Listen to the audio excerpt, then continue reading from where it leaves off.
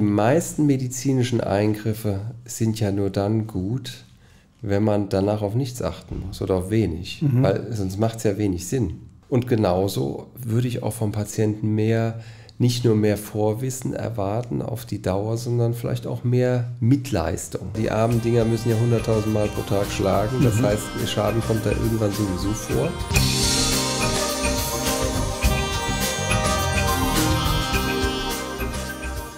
Einen wunderschönen guten Abend und ich begrüße Sie zu einer neuen Midnight-Folge. Heute haben wir einen der renommiertesten Kardiologen Deutschlands zu Gast und es geht um das Thema Herz, Herzgesundheit und auch die sogenannte Hilfe aus dem Schweinestall. Was das bedeutet, darüber sprechen wir gleich. Unser Herz ist natürlich ein sehr komplexes Organ und eine ganz besondere Rolle haben die sogenannten Herzklappen. Zum Beispiel, welche Aufgaben haben die Herzklappen, warum unsere Herzklappen krank werden können und auch wie wir unsere Herzklappen schützen können. Genau darüber spreche ich jetzt gemeinsam mit Professor Nickenich. Herzlich willkommen und es freut mich sehr, dass Sie heute mein Gast sind. Ja, vielen herzlichen Dank für die Einladung. Ich freue mich. Sie gelten ja als Pionier, wenn man das so sagen darf, der minimalinvasiven Behandlung von Herzklappenfehlern. Bevor wir mehr in dieses Thema einsteigen, würde mich einmal interessieren, wie sieht eigentlich Ihr Arbeitsalltag aus? Wie viele Stunden verbringen Sie pro Woche im OP, im Krankenhaus? Ich nehme mal an, dass Sie ja keinen 9-to-5-Job haben. Nein, ich äh, fange sehr früh an. Ich bin Frühaufsteher. Andere arbeitet sehr gerne nachts. Ich bin meistens um 6 Uhr da und versuche so gegen 7 Uhr äh, die Klinik wieder zu verlassen. Also kommen meistens so zwölf Stunden pro Tag, zwölf, 13 Stunden pro Tag zustande. Und am Wochenende bin ich immer nur ein paar Stunden hier. Mhm. Wenn wir jetzt einmal genau auf das heutige Thema Herzklappen eingehen, können Sie einmal kurz und in ganz einfachen Worten erklären, welche Herzklappen haben wir überhaupt, welche Aufgaben übernehmen diese Herzklappen? Klar, gerne. Also das Herz ist ja, ist ja eine, quasi eine Reihenpumpe. Es gibt ein linkes und ein rechtes Herz und das Herz soll ja das sauerstoffarme Blut, sagen wir mal aus dem Fuß, über die Lunge wieder auffrischen, damit es dann meinetwegen in der Leber wieder frisches, als frisches Blut tätig sein kann. Und dafür gibt es das rechte und das linke Herz. Und das Blut muss immer in eine Richtung fließen, damit das funktioniert, was wir eben gesagt haben. Und dafür gibt es vier Ventile, mhm. wie es das auch in einem, in einem Gartenschlauch oder in einem Schlauchsystem geben könnte, im Bewässerungssystem. Und das sind die Herzklappen. Es gibt zwei auf der rechten Seite und zwei auf der linken Seite. Die zwei, zwei davon zwischen, zwischen der Vor- und der Hauptkammer. In der Vorkammer wird das Blut immer gesammelt und mhm. dann in der Hauptkammer ausgetrieben. Und zwei Klappen gibt es immer am Ende der Hauptkammer, wenn es dann zum Beispiel in die Lunge oder in den großen Kreislauf, also in den gesamten Körper geht. Mhm. Und diese vier Klappen haben die unterschiedliche Aufgaben. Was sind vielleicht Gemeinsamkeiten dieser Klappen in den Aufgaben? Haben Sie ja schon grob beschrieben mit dem Kreislauf. Aber kann man da nochmal genauer drauf eingehen vielleicht?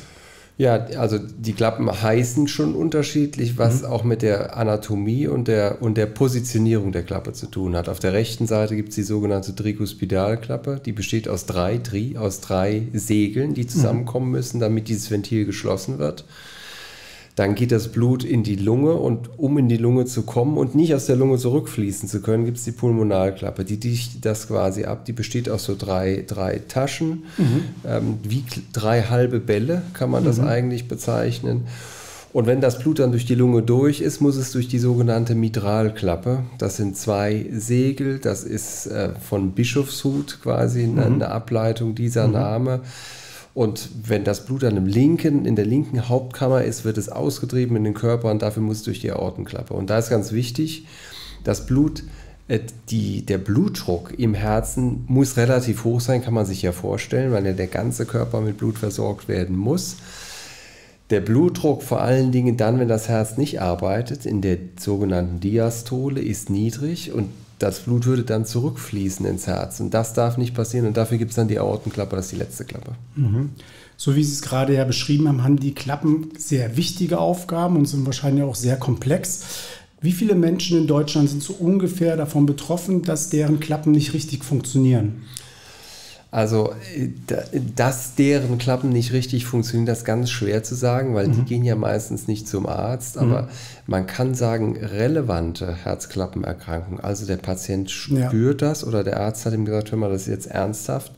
Gibt es sehr viele, zum Beispiel bei der Ortenklappe sind das sind ja alles Erkrankungen auch des höheren Alters im mhm. Wesentlichen. Äh, bei der Ortenklappe sind das bis zu einer Million Menschen, die betroffen sind äh, in Deutschland.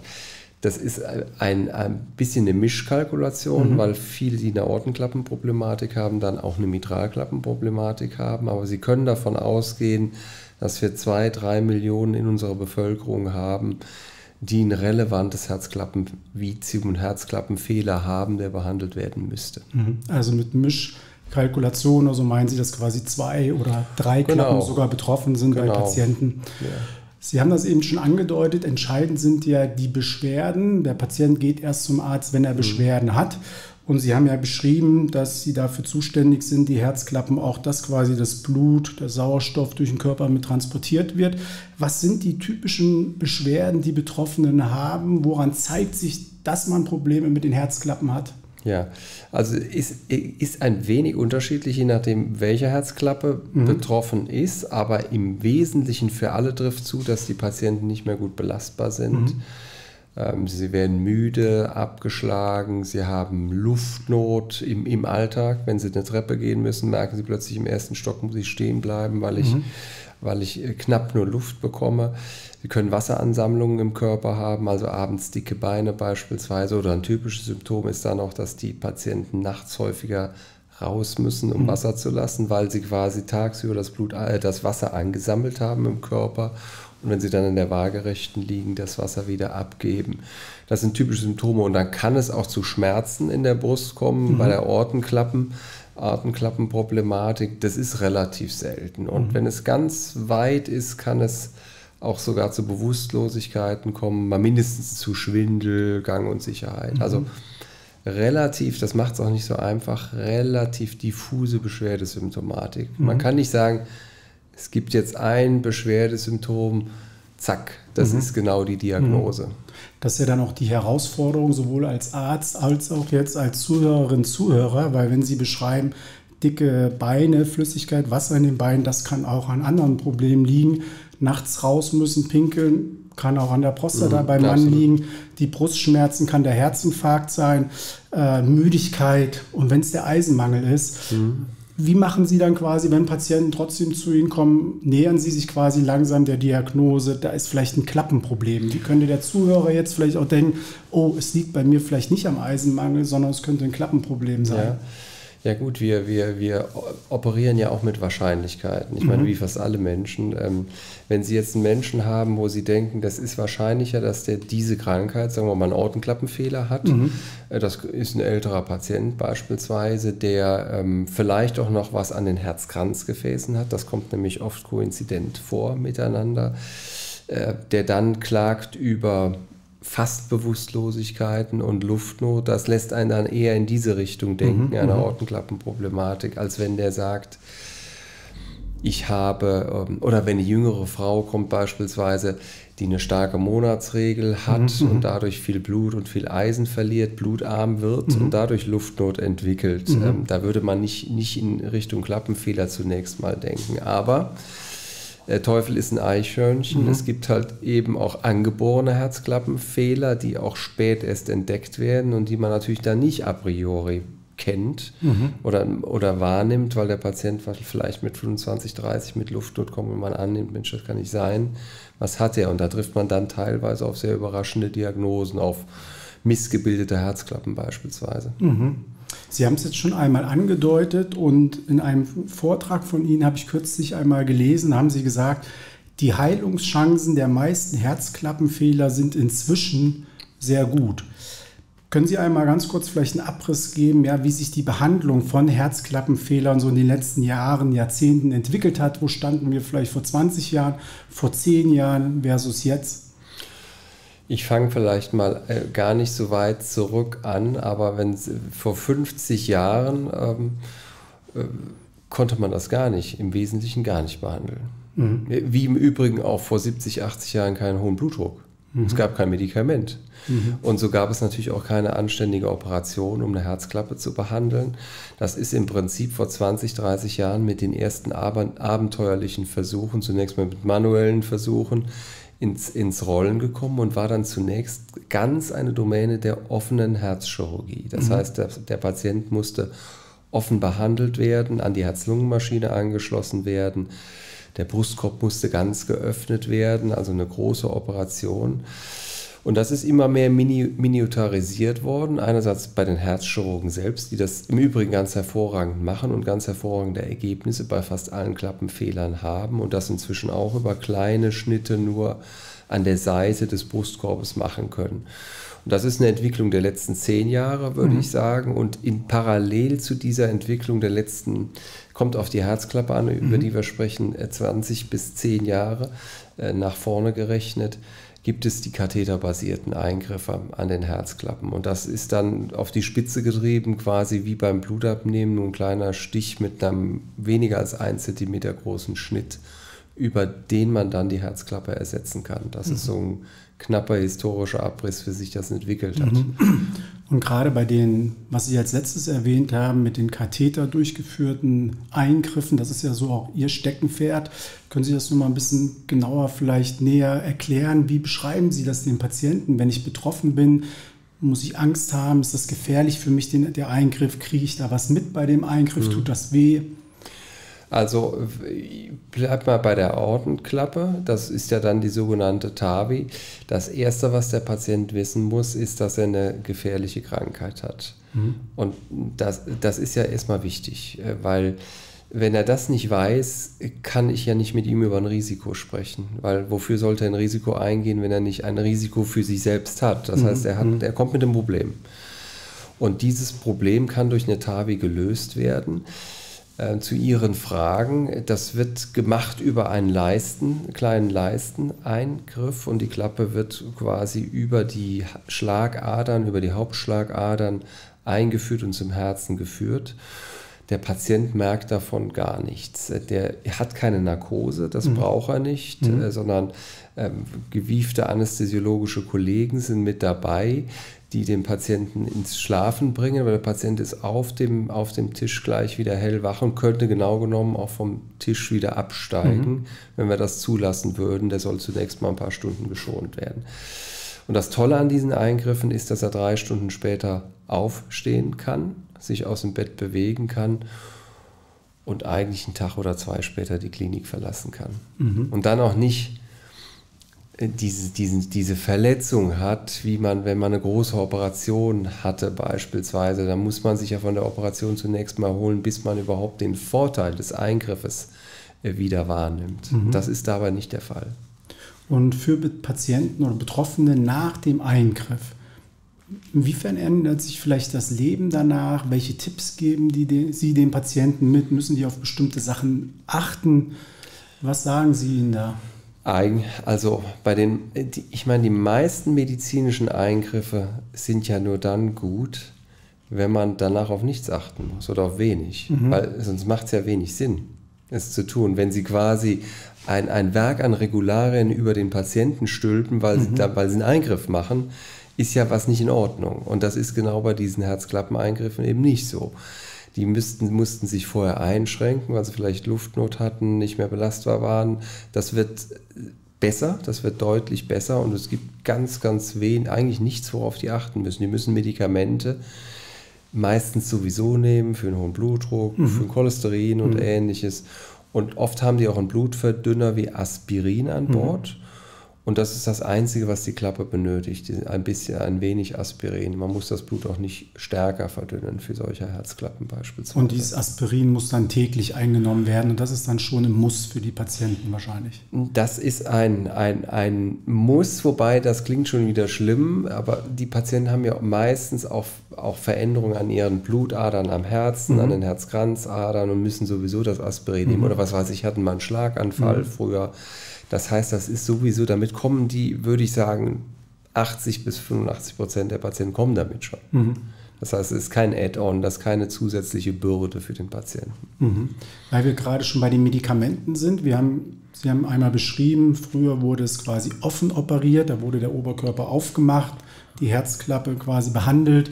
Dann haben Sie die äh, minimalinvasive oder das minimalinvasive Verfahren gerade beschrieben. Kann man so Herzklappenfehler auch mit Medikamenten behandeln im ersten Schritt vielleicht? Gibt es da Möglichkeiten? Wie sieht da vielleicht auch die Forschung aus in Zukunft? Ja, also das ist eine sehr gute Frage. Man kann die Klappenfehler immer behandeln mit Medikamenten, aber man behandelt nur die Folgen und die mhm. Symptome. Das heißt, es ist eine rein symptomatische Therapie, um zum Beispiel das Wasser aus dem Körper zu bringen, mit Wassertabletten beispielsweise oder Herzrhythmusstörungen, die entstehen durch die Herzklappenfehler gleichzeitig zu behandeln mit einem Beta-Blocker unter Umständen. Aber Ihre Frage zielt sicher auch auf die tatsächliche Zukunft ab. Es, die Klappenfehler entstehen ja nicht von ungefähr. Die Ortenklappenstenose ist der häufigste Klappenfehler, also die Verengung dieser Ortenklappen, der letzten Klappe, bevor das Blut in den Körper kommt, ist ein, ein langer, schlecht verstandener, entzündlicher Prozess, der am Ende dann zu Verkalkungen an der, an der Klappe führt. Das ist aber nicht eine Verkalkung, die irgendwo herkommt, sondern mhm. das ist ein mhm. sehr komplizierter Prozess zwischen Abwehrzellen und dem Körper selbst, zwischen Risikofaktoren und auch zwischen genetischen Veränderungen in den Patienten. Da wird sehr viel Forschung betrieben. Auch wir haben ja hier, haben hier am Standort so ein großes Netzwerk zu, genau zu diesem Thema. Und natürlich muss die, das Ziel sein, am Ende nicht mehr diese Klappen wie ein Klempner zu reparieren, mhm, so wie wir mhm. es jetzt machen. Das mhm. ist ja im Moment unser Schicksal, mhm. sondern den Klappenfehler überhaupt zu verhindern. Mhm. Aber dafür müssen wir erstmal verstehen, wie es überhaupt dazu kommt, um dann präventive Maßnahmen zu entwickeln. Mhm. Auf das Thema Prävention, auch für uns, äh, für die Zuhörerinnen und Zuhörer, gehen wir auch gleich nochmal ein. Mal was anderes, wenn man so die Diskussion auch in der Öffentlichkeit verfolgt, da wird auch gerade in Deutschland oft gesagt, es wird zu viel operiert, egal welches Fach, ob das in der Orthopädie ist, vielleicht auch in der Kardiologie. Was würden Sie dazu sagen, wenn sozusagen kritisiert wird, dass ja zu oft zu schnell operiert wird und das Gesundheitssystem damit zu sehr auch belastet wird? Ich glaube schon, dass das stattfindet und stattfinden kann. Dafür brauchen wir gute äh, Kontrollmechanismen. Ich glaube auch, dass, die, ähm, dass das passiert und dass wir Anreize in unserem, in unserem Klinikalltag und überhaupt in unserem Gesundheitswesen haben, die genau das natürlich auch herausfordern, weil man dafür belohnt wird, entlohnt wird. Nicht unbedingt als Arzt in der Klinik, sondern das Klinikum. Ähm, aber ich glaube auch, dass ein Großteil der Kollegen, auch ein Großteil der Träger das auch versteht, dass man das nicht tun soll. Mhm. Und ähm, es gibt sicher Ausnahmen, die das ähm, sehr stark entwickelt haben ähm, da müssen wir das Gesundheitssystem an dieser Stelle reformieren, dass wir diese Anreize nicht setzen. Das alles Entscheidende ist, wir brauchen einen mündigeren Patienten, mhm. weil ähm, die Kontrolle jetzt über, über weitere Instanzen, entschuldigen Sie, wenn ich da jetzt nochmal einen mhm. Satz dazu sage, über weitere Instanzen, wir leben ja sowieso schon in einer, in einer Zeit, in der uns alles vorgeschrieben werden soll, das halte ich für den falschen Weg, sondern wir müssen die Player, die miteinander zusammenarbeiten, also Patient und Arzt, die, mhm. müssen, die müssen da mehr auf Augenhöhe kommen. Und genauso würde ich auch vom Patienten mehr nicht nur mehr Vorwissen erwarten auf die Dauer, sondern vielleicht auch mehr Mitleistung. Mhm, mhm, und das würde ja auch dazu führen, dass er es vielleicht auch eher hinterfragt, bevor mhm. ihm eine Therapie zugeführt wird. Aber ich kann Ihnen da nur recht geben, da müssen wir dran arbeiten. Das ist aber kein deutsches Phänomen. Weil Sie es gerade ansprechen, wir machen ja auch den Videopodcast jetzt und Social Media ist ja auch ein Thema, das immer mehr an Bedeutung gewinnt. Spielt das für Sie eine Rolle, für Sie in Ihrer Klinik vielleicht konkret Aufklärung auch darüber zu machen, Sehen Sie Chancen, vielleicht auch Gefahren über Social Media aufzuklären? Ähm, zunächst mal sehe, sehe ich sehr viele Chancen. Das, ich meine, man hat immer ein Qualitäts, eine mhm. Qualitätsfrage. Das, was getan werden muss, ist auf Papier oder bei mhm. Social Media muss gut sein, muss nachhaltig sein. Man kann keinen Blödsinn erzählen und man darf auch nicht pro domo sprechen für mhm. sich selbst. dann halte ich das für ganz hervorragend. Ich meine, unsere ganzen jüngeren Bevölkerung, wenn ich zum Beispiel meine eigenen Kinder sehe, die, die ziehen ihre Informationen ja nicht von Printmedien, mhm, mhm, sondern von Social Media. Das heißt, wir müssen das bedienen, damit wir diese Informationen auch in eine, in eine breite Bevölkerung bringen. Mhm, perfekt, vielen Dank. Soweit, das war mal der erste Teil. Herr Professor Nickenich, ich stelle meinen Gästen immer fünf Fragen, kurze Fragen, die sie einfach mit Ja und Nein beantworten. Kommen Sie selbst mit dem Auto zur Arbeit? Nein. Kann regelmäßige körperliche Aktivität und eine gesunde Ernährung das Risiko für die Entwicklung von Herzklappenerkrankungen verringern? Ja. Ist es möglich, dass Menschen mit symptomfreien Herzklappenfehlern, also ohne Beschwerden, solange sie leben, keine Therapie benötigen? Nein, schwierig, schwierig mit Ja oder schwierig binär zu beantworten. Mhm. Glauben Sie, dass es in naher Zukunft Herzklappen gibt, die ein Leben lang komplikationslos halten? Ja. Brauchen wir noch ein bisschen Zeit, ja, glauben Sie? Ja. ja. Und Sie sind ja eine Koryphäe auf Ihrem Fachgebiet. Gibt es aber trotzdem vielleicht manchmal Situationen, in denen Sie auch Kollegen um Rat fragen? Täglich. Also wir sind ja ein, ein großes Team und der Patient kommt ja mit, der kommt ja mit multiplen Problemen. Der kommt ja nicht nur mit einer Herzklappe, der hat äh, Rhythmusstörungen, der, ähm, der, hat Lungenerkrankungen, um an unserer Klinik zu bleiben. Mhm. Der hat Durchblutungsstörungen dafür sind zum Beispiel allein in unserer Klinik Experten, die zu diesen Themengebieten viel mehr wissen als ich. Mhm. Und warum sollte man sich dem nicht bedienen? Mhm. Das eine ist ja das Verfahren, darüber haben wir jetzt gerade viel gesprochen, was man machen kann, was Sie in Ihrer Klinik sehr viel machen. Es gibt aber auch Unterschiede bei, den, bei der Art der neuen Herzklappen. Es gibt künstliche Herzklappen, es gibt auch sogenannte Spenderklappen vom Schwein, vom Rind, vom Menschen auch. Äh, können Sie einmal die Unterschiede kurz erläutern zwischen einer künstlichen Herzklappe und einer Spenderklappe? Ja, ja. Deshalb habe ich eben auch kurz ge äh, gezögert. Es gibt, ne, gibt, ja eigentlich schon Klappen, die für immer halten mhm. können. Das sind die sogenannten mechanischen Herzklappen. Die sind äh, mehr oder weniger aus Metall. Mhm. Die haben den großen Vorteil, dass sie für immer halten. Die gehen nicht kaputt. Aber die haben den großen Nachteil, dass man eine Blutverdünnung durchführen muss, weil sich sonst Blutgerinnsel auf den Herzklappen bilden können. Und diese Blutverdünnung hat natürlich andere Nachteile, dass man zum Bluter wird und so weiter und mhm. so fort. Die biologischen Herzklappen, das sind die, die hergestellt werden aus Schweine- oder Rindergewebe. Ähm, die sind, haben den großen Vorteil, dass sie die Blutverdünnung nicht benötigen ähm, haben aber den Nachteil, dass sie nach 10, 15, 20 Jahren, je nachdem, wer, wer diese Klappe erhält, meistens dann doch kaputt gehen und nochmals erneut eingesetzt werden müssten. Das heißt, dass man ganz jungen Patienten, mhm. sagen wir mal dem 40-Jährigen, würde mhm. man ungern eine biologische Herzklappe einsetzen, weil der soll ja 80 werden oder älter, ist er von der Lebenserwartung. Dann bräuchte der ja ein oder zweimal noch eine neue Klappe, da wäre das nicht so gut.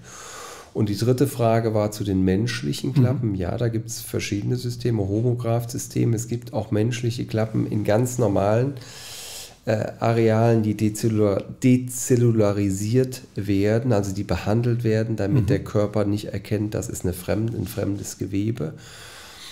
Das ist im Moment noch eine Ausnahme. In bestimmten Bereichen wird das eingesetzt, ist aber jetzt für die große Masse an Herzklappenerkrankungen erstmal nicht relevant. Mhm. Sie hatten das ja auch, wenn man jetzt so vielleicht mal vergleicht mit anderen Ländern und Sie selbst sind ja seit 2005 Chefarzt am Universitätsklinikum Bonn und haben auch eine längere Zeit in den USA gelebt und geforscht, gearbeitet.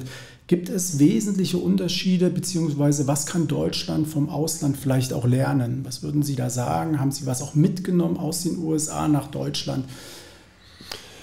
Oh ja, wir können äh, natürlich viel auch voneinander lernen, aber wir können natürlich äh, gerade heutzutage auch viel von den USA lernen. Die mhm. USA hat die ähm, hat eine viel freiere Art und Weise an, an, an eine Problematik, an eine wissenschaftliche Problematik heranzugehen.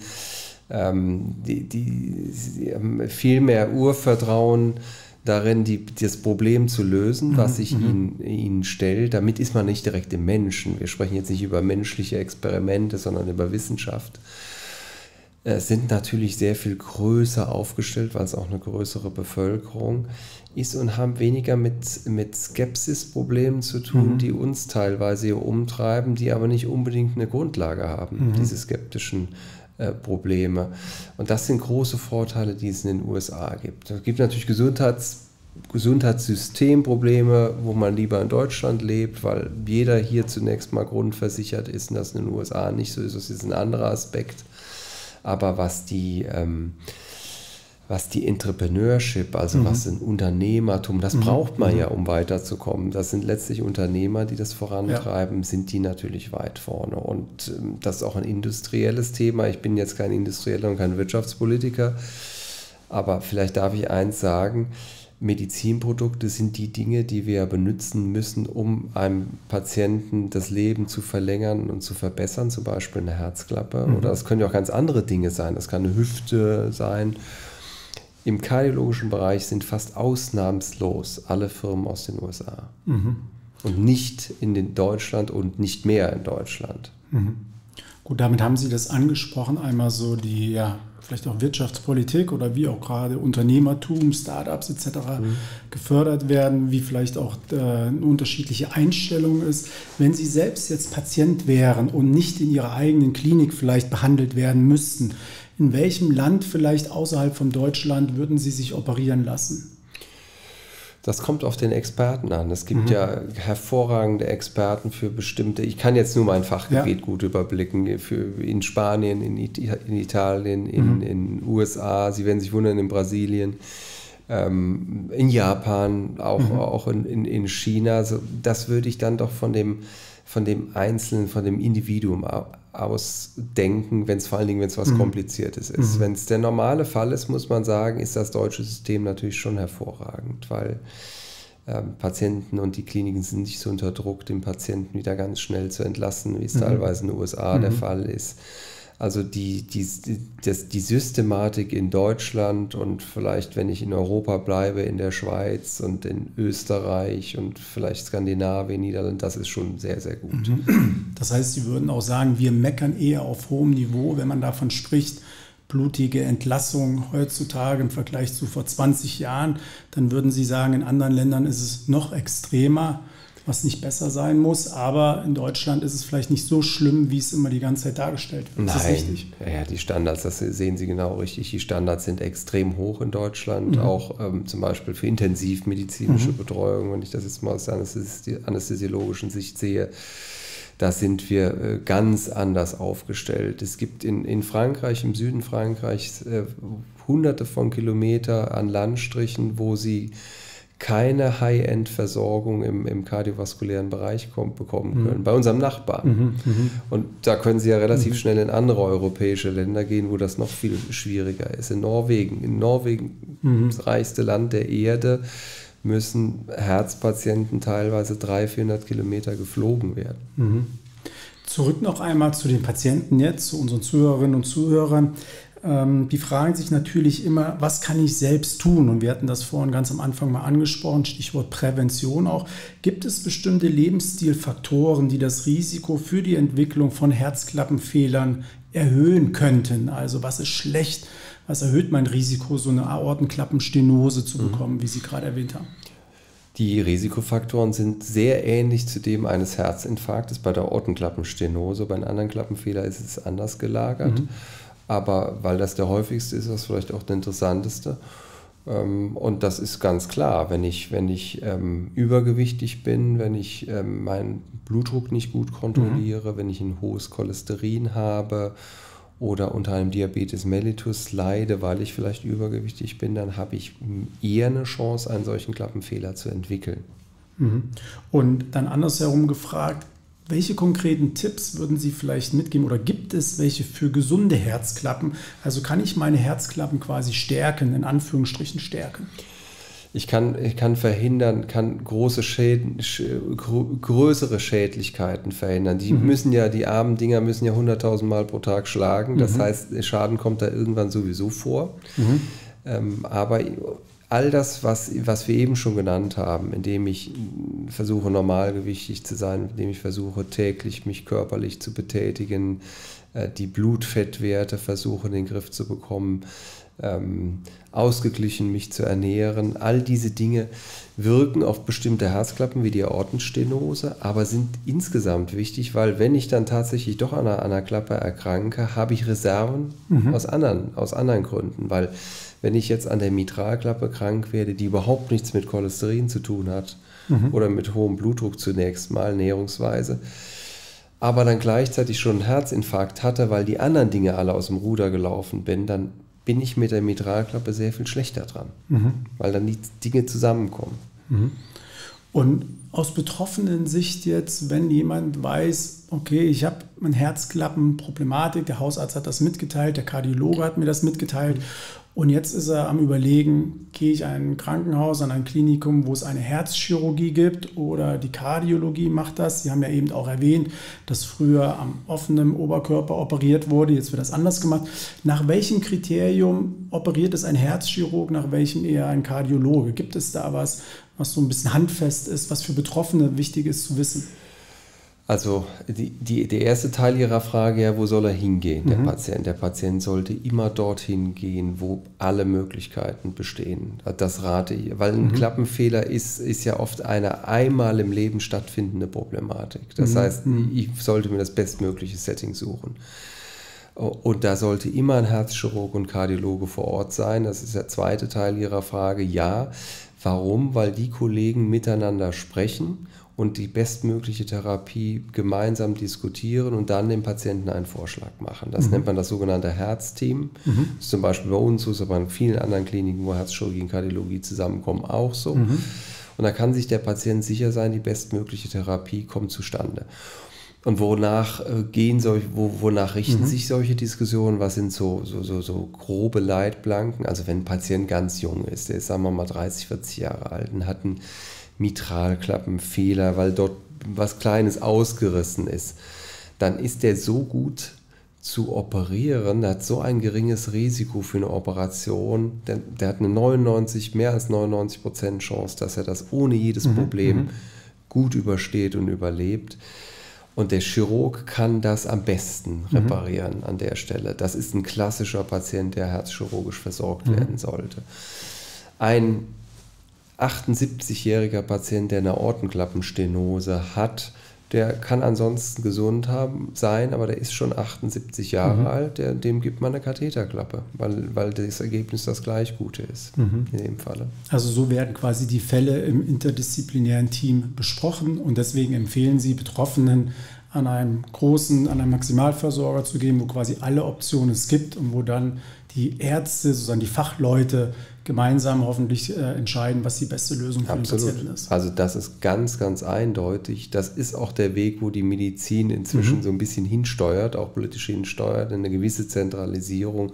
Sie müssen ja auch sich vorstellen, je mehr eine bestimmte Prozedur an einem Ort gemacht wird, umso routinierter ist das, mhm. umso mhm. mehr Abläufe gibt es, die kontrolliert sind. Und ein letzter Punkt noch, die Kostenträger, die mhm. Krankenkassen und auch die Politik, Gesundheitspolitik fordert das. Mhm. Also beispielsweise, wenn Sie eine Herzklappe einsetzen und das vorher nicht im, in dem so, sogenannten Herzteam besprochen haben und das dokumentiert haben, mhm. dann laufen Sie Gefahr, dass diese Operation nicht bezahlt wird. Mhm. Zu Recht. Mhm. Weil das so sein muss, dass der Patient die bestmögliche Auswahl hat. Mhm. Wenn man einmal was Ganze vielleicht aus einer ethischen Perspektive sieht. Wir haben über das Medizinische gesprochen, auch kurz jetzt sozusagen das Soziopolitische, vielleicht auch mal kurz das Ökonomische. Mal aus einer ethischen Frage oder Sicht, wie gehen Sie damit um, mit ethischen Fragen im Zusammenhang mit der Implantation von Herzklappen oder Transplantation? Also ethische Probleme bei Herzklappeneingriffen sehe ich eigentlich relativ wenige oder, oder gar keine, mhm. weil ähm, es sei denn, man, man, man würde jetzt sagen, die Tiere müssen natürlich geopfert werden, damit die Patienten äh, weiterleben können mit, mit einer neuen Herzklappe. Da würde ich aber, das würde ich nicht als relevantes Problem mhm. ansehen. Ich denke, das ist sehr gut überlegt und, und sehr gut eingesetzt und das, das Recht hat, glaube ich, der Mensch an der Stelle. Das würde ich mich jetzt mhm. mal wagen zu sagen. Mhm. Ähm, bei einer Herztransplantation ähm, sehe ich auch in unserem extrem gut kontrollierten Problem nicht das, äh, in unserem extrem gut kontrollierten System nicht das Problem, dass das Spendeorgan irgendwo herkommt mhm. und dann hier eingesetzt wird. Das kann man, glaube ich, ausschließen, mhm. zumindest mal für Deutschland. Ein ethisches Problem ist natürlich die, die Nichtverfügbarkeit von mhm. Organen. Das heißt, wir müssen alle gemeinsam dafür werben, dass wir, wenn wir ein großes gesundheitliches Problem haben und vielleicht versterben, dass wir in der Lage sind, dass wir willens sind, unsere noch gesunden Organe äh, abzugeben, damit andere Menschen davon profitieren können. Mhm. Also das halte ich für ein, für ein, für ein gesamtgesellschaftliches, ethisches Problem. Da müssen wir uns vielleicht mehr der Verantwortung der Solidarität stellen. Mhm. Und konkret dazu, haben Sie selbst einen Spendeausweis? Ja. ja. Noch eine persönliche Frage jetzt zum Abschluss. Ähm, wenn Sie nicht Medizin studiert hätten und jetzt nicht Arzt wären, welchen Beruf würden Sie jetzt gerne alternativ ausüben? Wo würden Sie sich gerne sehen? Das ist eine schwierige Frage. Das ist mein Hobby, was ich mache. Mhm. Ähm, das mache ich sehr gerne. Ich habe ein großes Fable für Musik. Also Musiker könnte ich mir vorstellen. Musiker. Stark. Abschließend noch, welchen persönlichen Tipp in Bezug auf das heutige Thema Herzklappen, Herzklappenerkrankungen haben Sie für unsere Zuhörerinnen und Zuhörer? Grundsätzlich ist wichtig, dass wir uns nach unserem gesunden Menschenverstand verhalten. Das heißt, versuchen, sich gesund zu ernähren, viel sich körperlich zu bewegen ähm, und insgesamt ein halbwegs normales Leben in der Mitte des eigenen Lebens zu finden. Das ist natürlich nicht immer einfach. Dann ist man zumindest gewappnet, wenn ein Herzklappenfehler kommt, weil die anderen Organe und der restliche Körper noch halbwegs gesund ist. Das sind die wesentlichen Dinge. Und immer auf die Symptome achten, die einem ein Körper bietet, wie zum Beispiel, wenn man wirklich Luftnot bekommt, Schmerzen in der Brust, dass man dann um Hilfe bittet. Ja, vielen Dank für Ihre wertvolle Botschaft an unsere Zuhörerinnen und Zuhörer und vielen Dank, dass Sie heute mein Gast waren. Wenn Ihnen der Beitrag gefallen hat, dann gerne teilen Sie das Video und gerne schauen Sie beim nächsten Mal wieder rein. Vielen Dank und bleiben Sie mir treu.